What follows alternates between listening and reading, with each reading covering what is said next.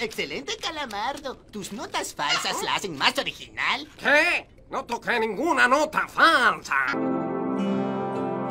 Verás, estás tocándolo así. ¿Cuándo debería ser así?